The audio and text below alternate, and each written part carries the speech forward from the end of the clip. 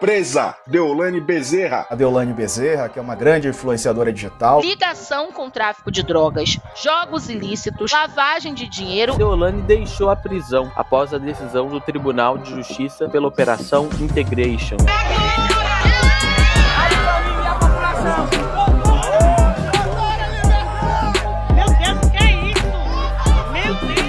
Na notícia da prisão da Deolane Bezerra, teve uma coisa que chamou tanta atenção quanto o fato em si: o show que os seguidores deram na frente dos presídios e nas redes. Eles estão ali pela Deolane ou para conseguir mais engajamento nas próprias redes?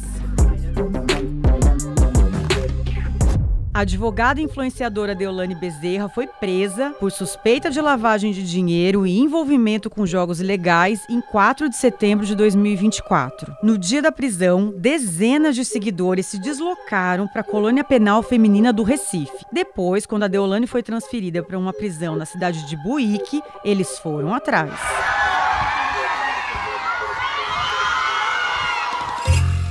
Na verdade, a justiça chegou a dizer que as pessoas foram pagas para protestar a favor da Deolane. A gente já comentava, nossa, tomara que essas pessoas estejam recebendo, delas ficarem o dia inteiro lá desocupadas na frente do presídio. Mas no fim, isso não muda a essência dessa história. Talvez não monetize com as irmãs, né, pagando, mas pode um troco do, do TikTok, que Com monetiza os certeza. vídeos. Que o que essas fãs aqui da influenciadora digital Deolane Bezerra trouxeram para elas aqui um presente super caro, galera. Aproximadamente aí 3.980 reais aí. Fala um pouquinho. Parcelado em 10 vezes sem juros, sem entrada. Eu ainda né? falei que não tinha condições, mas Mas o importante é, é agradar a nossa doutora, que ela merece, né?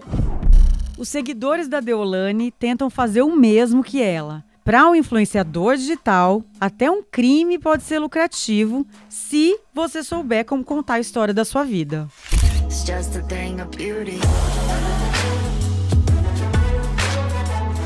A Deolane é uma super influenciadora com quase 22 milhões de seguidores. Ela conecta vários fatores que explicam a idolatria por ela.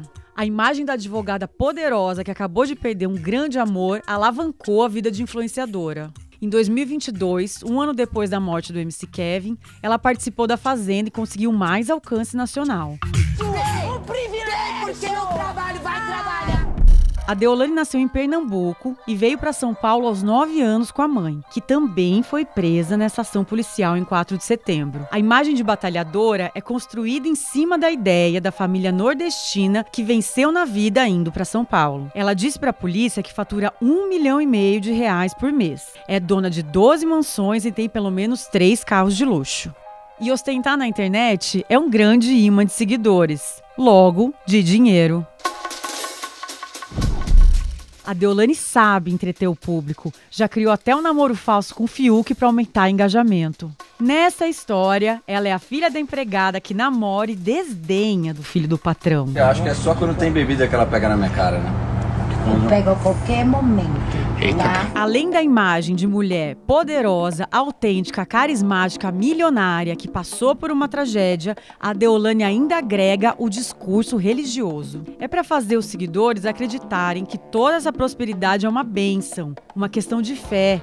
Quem sabe um dia eles também possam ser abençoados. Principalmente se eles também conseguirem seguidores. Já tá na conta, não demorou muito, cai rápido e fácil. No fim, com a prisão, a Deolane reforça uma ideia de injustiça, o que colabora para que mais gente fique do lado dela. Mesmo que seja condenada, os fãs provavelmente vão ignorar as evidências para manter uma visão positiva da ídola. É o que a psicologia chama de dissonância cognitiva. Eu só vou tomar um banho se eu for pro presídio de novo esperar a Deolane. Deolane tá presa, inocente. E aí, não importa o crime. Quem nunca errou na vida? Se tanto site de aposta opera no Brasil e tanta gente faz publicidade deles, por que estão punindo só a família da Deolane? Solta a Deolane, porque é a patroa da história! E aí, é nesse caos que a Deolane e os seguidores conseguem mais matéria-prima para novos conteúdos e mais seguidores nas redes sociais.